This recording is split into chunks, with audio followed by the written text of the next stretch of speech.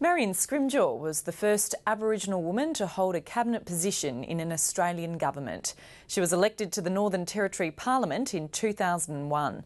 11 years on, she's announced she won't be contesting the Territory election in August. I spoke to Marion Scrymgour earlier about her decision. Marion Scrymgour, welcome to the program. Thank you, Louisa. When did you decide that you won't be contesting the August election? Look, I, I had my nomination in. I, I wanted to go again, and I'd been talking to a number of people.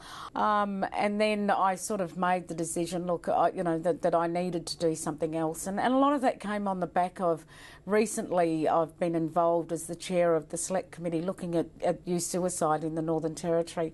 And uh, a lot of the issues that we picked up, people we spoke to, communities that we visited, um, there, there, was a stark reality that said to me, you know, just what are we doing and, and how are we making a difference? And just that need to, to want to go back home and get back down on the community and, and to do some, some work that I otherwise can't do as a local member. You were the first Indigenous female cabinet minister, but you quit Labor uh, in 2009, citing opposition to the government's homeland policy.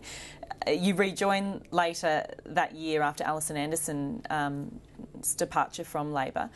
Do you feel that you've been too impulsive in politics? I, I, suppose.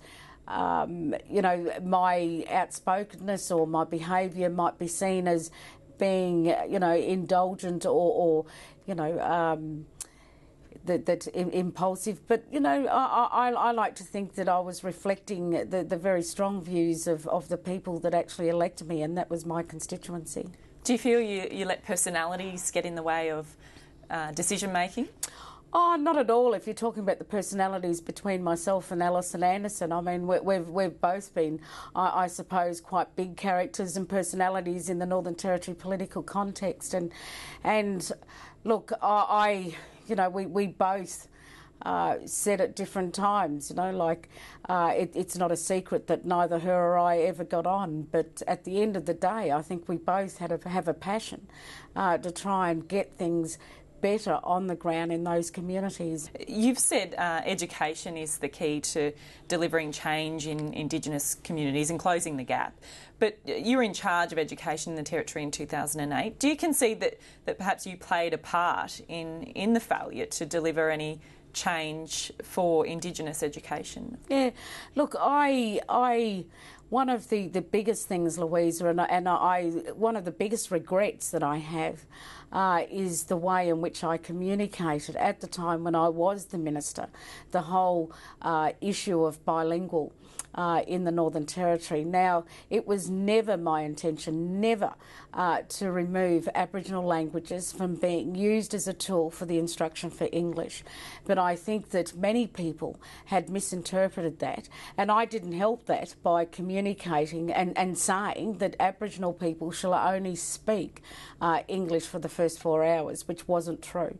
Um, so, yeah, do I have regrets? I, I, certainly do. I think that, you know, in, in that instance, um, it, it could have been done better and if I had my time over, I probably would do it differently.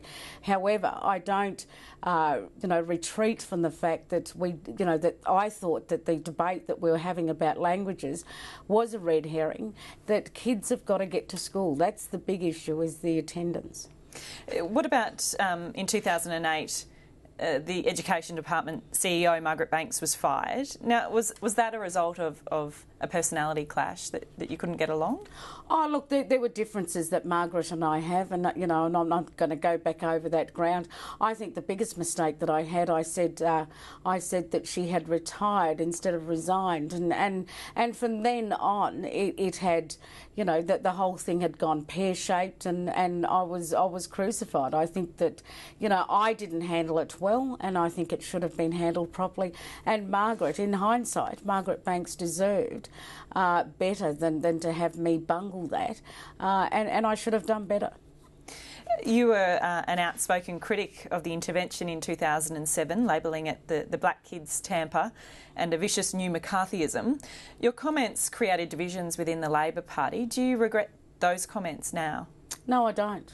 I think if you look at the, and it was only recently that I went back over and I had a look at my Charles Perkins oration and the speech that I delivered, and I think that if anyone reads that speech, uh, the relevance of that speech and the criticisms that I put on on then uh, are so relevant today, and I think that uh, where it divided the Labor Party, I think that uh, certainly uh, my language, and I said at the time uh, maybe I could have toned it down a little bit, but I don't, uh, you know, take back my criticism of, of, that intervention. I, you know, I mean, there's a lot of criticism at the moment in terms of Stronger Futures, but I think Stronger Futures is certainly a, a sight a whole lot better than what we had in terms of the Northern Territory intervention. Now, you've said you plan to go back to, to your community when you retire in August, and any plans beyond that? Um, look, I, I think. Uh, I think, well, watch this space. I keep saying to people, I think that makes a few people nervous. But look, I'm not going to retreat. I will go back to the communities. But um, yeah, as I said, watch this space. Marion Scrymgour, thanks so much for talking with us. Thank you.